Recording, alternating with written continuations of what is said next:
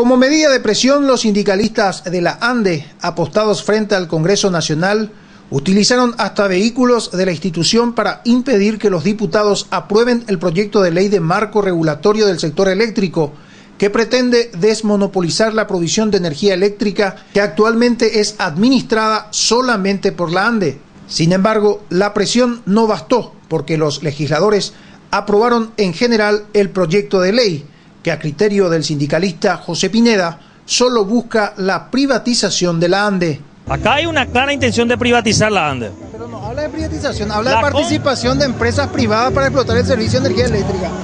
La ley dice, en el primer artículo, que la electricidad es bien sujeto de comercio y eso significa lucro. El comercio persigue lucro. Después divide a la ANDE en cuatro subsectores para venderlo por partes. El siguiente artículo habla de que las los sectores de transmisión y distribución deben ser concesionados y la concesión es el traspaso a una empresa privada de la utilización de, e, esos subsegmentos de energía por 30 o 40 años.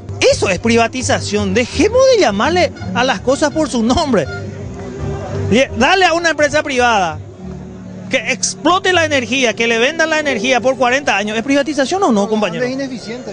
La ANDE puede ser que sea ineficiente, pero el sector que es ineficiente hoy genera la mayor cantidad de energía, la mayor cantidad de dólares en el país. Con imágenes de Carlos Jiménez, informó Claudio Genes para ABCTV.